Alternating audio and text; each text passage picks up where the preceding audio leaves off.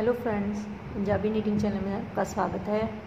आज मैं आपके लिए लेकर आई हूँ ये एक बहुत ही इजी डिज़ाइन जिसे आप लेडीज़ गर्ल्स जेंट्स या बच्चों के किसी भी प्रोजेक्ट में यूज़ कर सकते हो। 20 सलाइयों का डिज़ाइन है। इस डिज़ाइन के लिए हमें 11 के मल्टीपल फंदे चाहिए।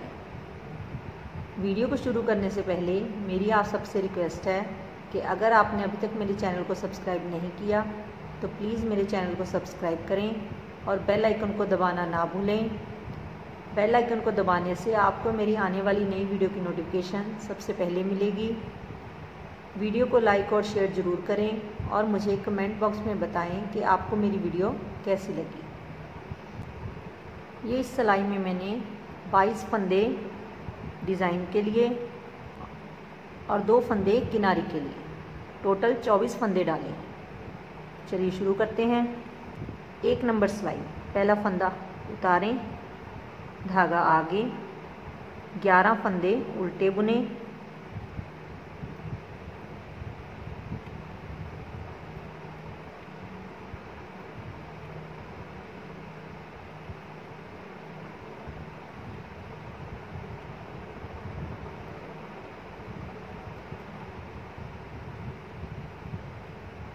अब हमने ये पाँच फंदों को सिलाई से उतार लेना है।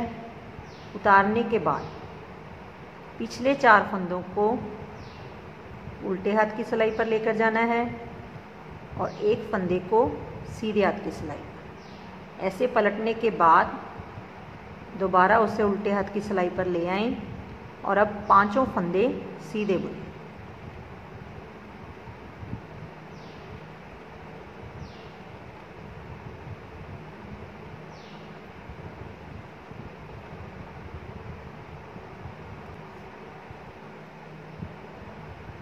ऐसे ये पाँच फंदे सीधे बुनने के बाद। अब एक फंदा सीधा बुन। एक फंदा सीधा बुनने के बाद। अब अगले पाँच फंदों को फिर सिलाई से उतारना है। पीछे वाले चार फंदों को सीधे हाथ की सिलाई पर लेकर जाना है और आगे वाले एक फंदे को उल्टे हाथ की सिलाई।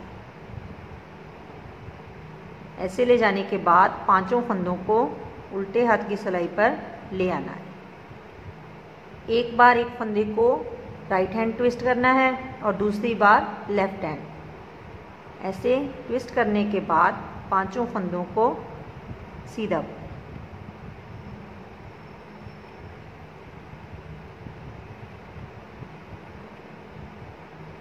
ये पाँच फंदे सीधे बुनने के बाद किनारी वाला फंदा सीधा।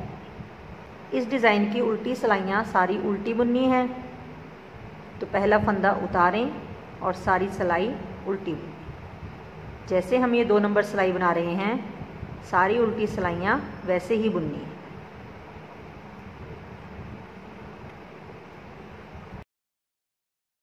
तीन नंबर सिलाई। में पहला फंदा उतारें, धागा आगे 11 फंदे उल्टे बुने। पहली दस सिलाइयों में हमने ये पहले 11 फंदे ऐसे ही उल्टे बुनने हैं।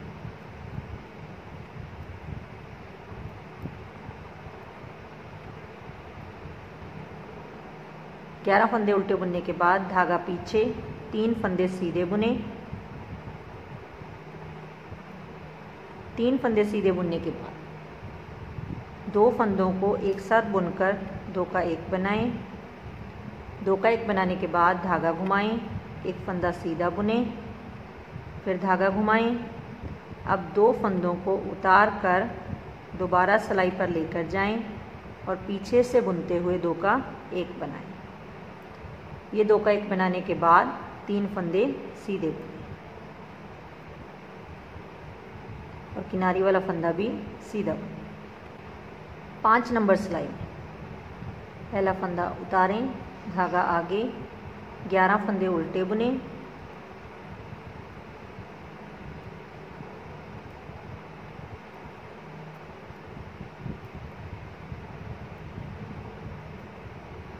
ग्यारह फंदे उल्टे बुनने के बाद धागा पीछे, दो फंदे सीधे बुने। दो फंदे सीधे बुनने के बाद दो फंदों को एक साथ बुनकर दो का एक बनाएँ, धागा घुमाएँ, तीन फंदे सीधे बुने। तीन फंदे सीधे बुनने के बाद फिर धागा घुमाएँ, दो फंदों को उतार कर दो का एक बनाएँ। दो का एक बनाने के बाद दो फंदे सीधे बुने। किनारी वाला फंदा भी सीधा। सात नंबर सिलाई में। पहला फंदा उतारें, धागा आगे, ग्यारह फंदे उल्टे बुने।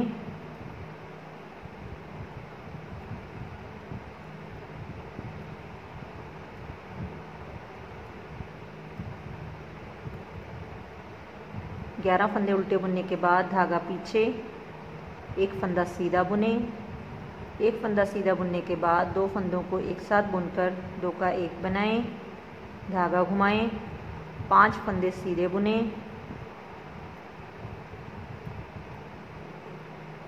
पाँच फंदे सीधे बुनने के बाद धागा घुमाएँ, दो फंदों को उतार कर दो का एक बनाएँ। दो का एक बनाने के बाद एक फंदा सीधा बुने और किनारी वाला फंदा सीधा बुने। नौ नंबर सिलाई पहला फंदा उतारें, धागा आगे, ग्यारह फंदे उल्टे बुने।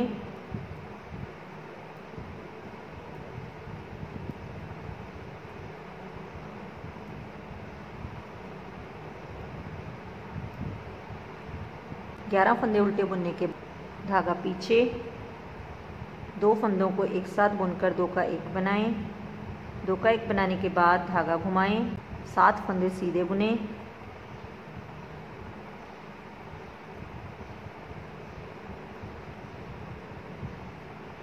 सात फंदे सीधे बुनने के बाद फिर धागा घुमाएँ। दो फंदों को उतार कर दो का एक बनाएँ और किनारी वाला फंदा सीधा बुन। ये दस सलाइयाँ बुनने के बाद। अब हमने अगली दस सलाइयों में इस डिज़ाइन की जगह को चेंज कर देना है। जो हम ये उल्टे उल्टे फंदे बुनते आ रहे हैं, उन्हें हमने इस डिज़ाइन के ऊपर बनाना है और जो हमने पहले उल्टे फंदे बुने हैं, उनके ऊपर अब हमने डिज़ाइन बनाना तो 11 नंबर सिलाई में पहला फंदा उतारें। उतारने के बाद ये पहले पाँच फंदों को सिलाई से उतारें। उतारने के बाद पिछले चार फंदों को उल्टे हाथ की सिलाई पर लेकर जाएँ और एक फंदे को राइट हैंड ट्विस्ट करते हुए आगे लाएँ। ऐसे ट्विस्ट करने के बाद पाँचों फंदों को सीधा बुनें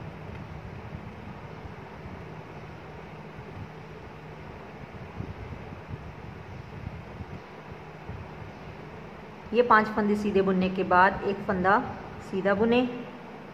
अब हमने फिर इन पाँच फंदों को लेफ़्ट हैंड साइड ट्विस्ट करना है। तो पाँचों फंदों को सिलाई से उतारें। पीछे वाले फंदों को सीधे हाथ की सिलाई पर लें। पहले फंदे को सीधे हाथ की सिलाई पर लेते हुए लेफ़्ट हैंड साइड ट्विस्ट करें। अब पाँचों फंदों को सिलाई पर लेकर आएँ और सीधा बुनें।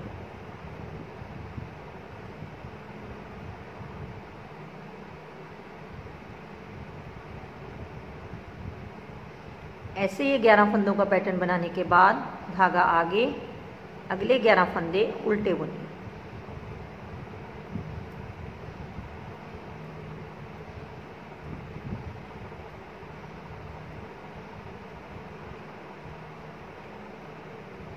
ग्यारह फंदे उल्टे बुनने के बाद धागा पीछे किनारी वाला फंदा सीधा बुन। तेरह नंबर सिलाई। में पहला फंदा उतारें, तीन फंदे सीधे बुने तीन फंदे सीधे बुनने के बाद दो फंदों को एक साथ बुनकर दो का एक बनाएँ, धागा घुमाएँ, एक फंदा सीधा बुने, फिर धागा घुमाएँ, दो फंदों को उतार कर दो का एक बनाएँ। दो का एक बनाने के बाद तीन फंदे सीधे बुने।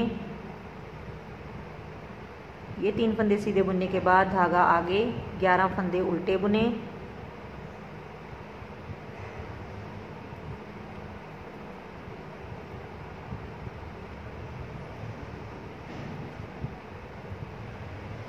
धागा पीछे, किनारी वाला फंदा सीधा बुने।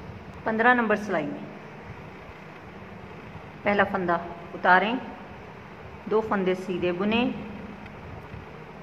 दो फंदे सीधे बुनने के बाद दो फंदों को एक साथ बुनकर दो का एक बनाएँ, दो का एक बनाने के बाद धागा घुमाएँ, तीन फंदे सीधे बुने, तीन फंदे सीधे बुनने के बाद फिर धागा घुमाएँ। दो फंदों को उतार कर दो का एक बनाएँ। दो का एक बनाने के बाद दो फंदे सीधे बुने। धागा आगे, ग्यारह फंदे उल्टे बुने।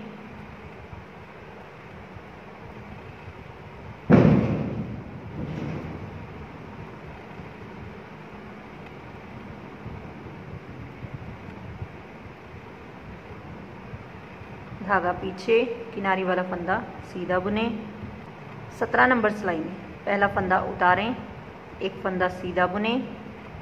दो फंदों को एक साथ बुनकर दो का एक बनाएँ, दो का एक बनाने के बाद धागा घुमाएँ, पाँच फंदे सीधे बुने।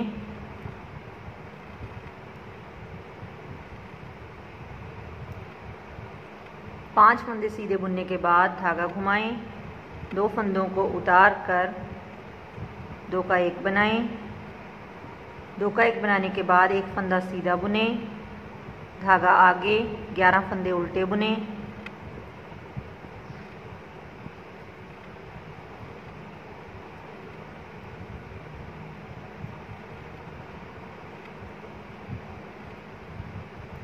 धागा पीछे, किनारी वाला फंदा सीधा बुने।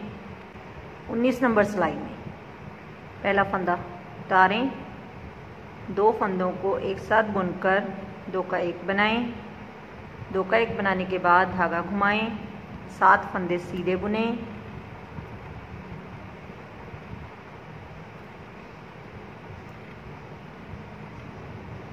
सात फंदे सीधे बुनने के बाद धागा घुमाएँ, दो फंदों को उतार कर दो का एक बनाएँ।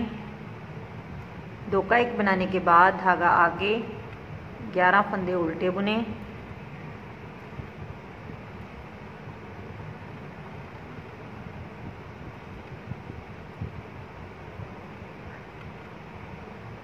धागा पीछे, किनारी वाला फंदा सीधा बुने।